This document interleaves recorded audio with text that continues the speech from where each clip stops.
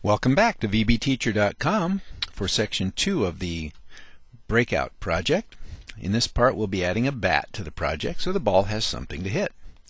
We hope you're enjoying this programming fun and continue to participate in VBTeacher.com. Thanks.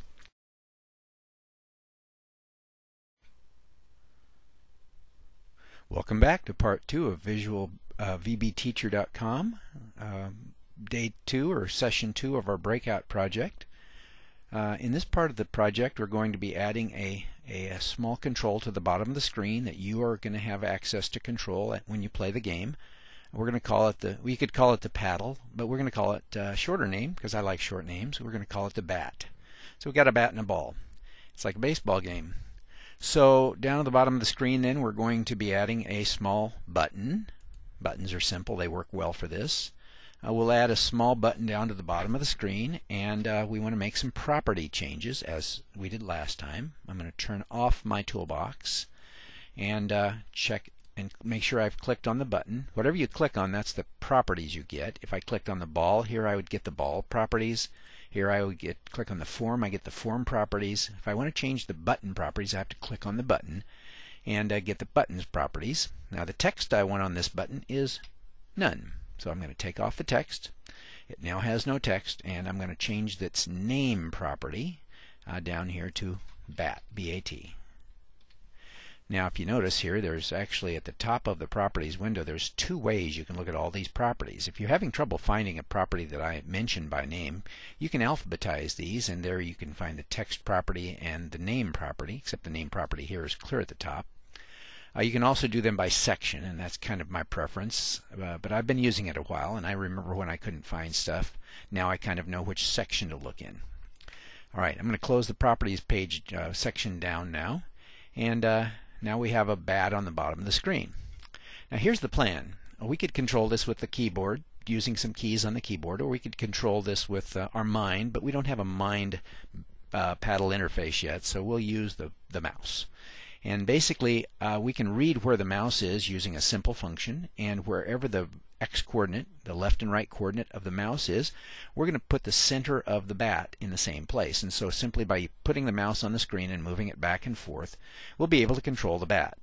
Now the event that happens whenever you move the mouse is, amazingly enough, called mouse move.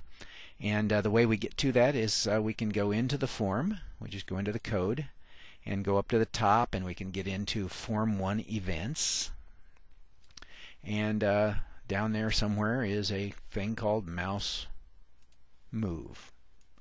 There it is. So Form 1 mouse move. I do not want uh, I do not want bat mouse move because then it would only move when I have the mouse on top of the control, the, the bat itself, but I want it on the in the form itself. So when it's on the form then it'll do this. Alright, so what I want to do whenever I move the mouse is to move the bat to an appropriate location based on the mouse. Now I can find out where the mouse is because it's in the it's given in this uh, near the top. There's uh, an argument up here by value sender as object, comma by value e as system Windows forms mouse event args arguments, and this handles mouse move. So up here on the e uh, the E thing has a function in it, and if I look here, it just says E dot, and it comes up with an X, and E dot X is the horizontal location of the mouse. Okay, so now here's what I have to set. I'm going to pull in here a graphic that kind of illustrates the settings of the uh, of this next section. Uh, here we see that we have the breakout game shown here. Uh, the form is shown. And in this breakout game, the inside coordinate of the black area, excluding the borders at the top and the bottom and the left and the right, this area where you can work, is called a client rectangle. And so the distance from the inside edge here of the black to the inside edge here of the black is the client rectangle width, and this is the client rectangle height. Um, I have the bat sitting on the bottom of the form. At the top of the bat is nearly at the as far down as the height of the rectangle, the client rectangle. Uh, the bat left and the bat right and the bat width can be accessed. Those are all properties of the bat. And the ball has a the ball has a top and a bottom and a left and a width and a right, and it has a bunch of properties we can work with there. And basically then here's the plan. We would like to take that e dot e dot x and uh, calculate it so that the center of the bat follows the location of the mouse. And we'd like to have it so that the bat is correctly positioned near the bottom. And uh, that's our next task. So on the mouse move then, we need to calculate those coordinates. And uh, so we will set the, uh, first of all, let's set the width and the height of the, uh, of the thing. Um, the bat dot width we're going to set that to be a fraction of the screen width. So if you make the screen bigger, the bat gets a little wider. And so the bat width will be equal to 3 tenths times uh, me dot client rectangle dot width. So the bat width is 3 tenths of the client rectangle. Let's make the bat height, again a fraction, uh, a very small fraction of the height. The bat height equals uh, 0.05, 5% or 5, 5 one hundredths of the client rectangle height. All right, now we need to set the top, and so the bat top is equal to, again, 0.95, 95% of the height, so it'll fit there on the bottom, times me dot client rectangle dot height, and the bat bottom equals point, uh, whoops, don't want the bat bottom. I did the width and the height and the top.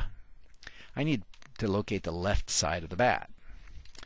Well, the left side of the bat, if it's 3 tenths wide, will be 0.15 left of the e dot x. So bat dot left is equal to 0.15, which is related to the 0.3 up here. It's half of that, times me dot client rectangle dot, dot high, uh, width and what we want to do is take e dot x and subtract this quantity from it. And we'll do the multiplication first. I think it would do this, but we'll use parentheses just to be safe. So now whenever we move the bat, it's going to calculate these four numbers and position the bat based on the size and the shape of the screen and the location of the mouse. So let's run it and see what happens. So now I'm in the form, and as I move the mouse back and forth, no matter how high I am up, the uh, the paddle or the bat on the bottom of the screen follows the mouse. And that was the plan. Now notice when I get down on top of the mouse it doesn't work. So you have to be somewhere within the black area for this to work. Alright, very good. Now we need to uh, think about how to make it so that it knows when it hits the bat. And uh, that's our next task.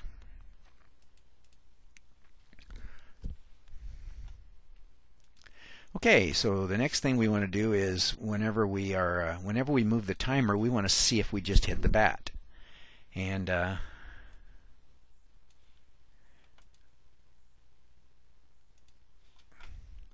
once again, we're going to have to pay attention to our model here.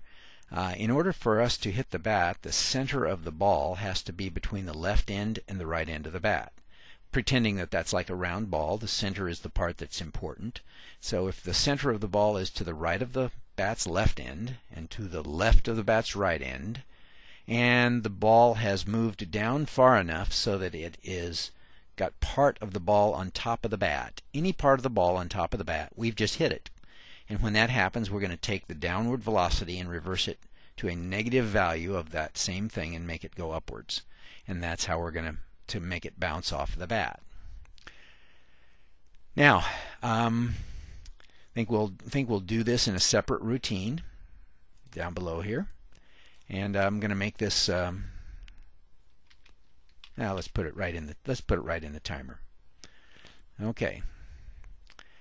All right, we're going to uh, first of all need to know where the center of the ball is. So dim C as single equals ball dot left plus ball dot width over 2. And that'll be the center of the ball. That's what we have to make sure is in, in the boundary area.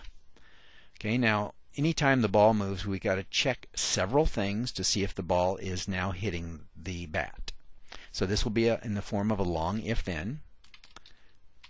Check for a bat hit.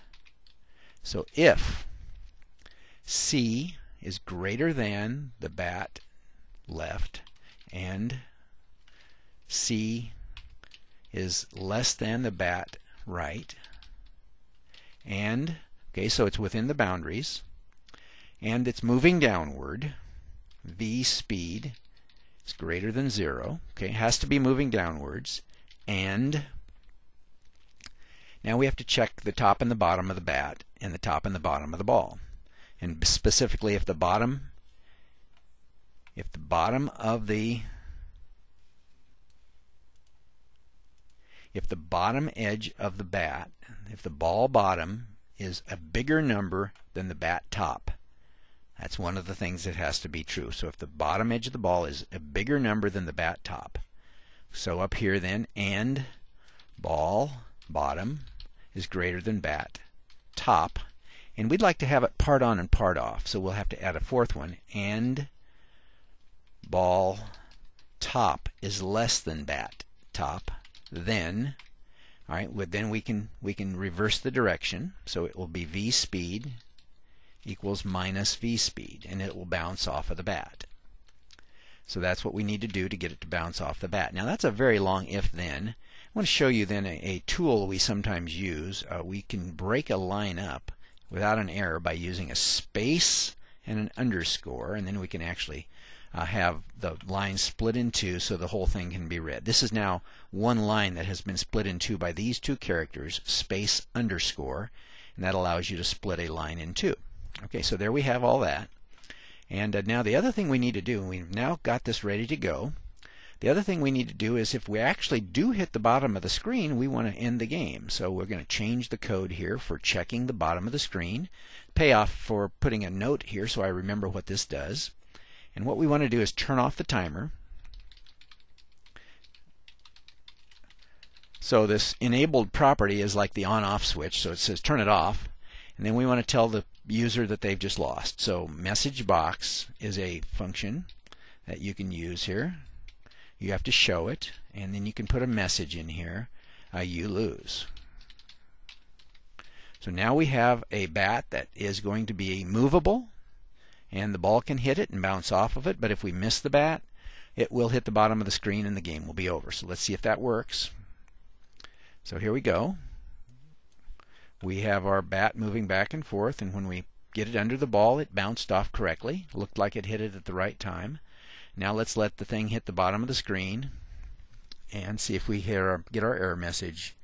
And we do, and we lose. Now we have no way right now to restart the program, but uh, that's that's the next that's one of the next steps. Okay.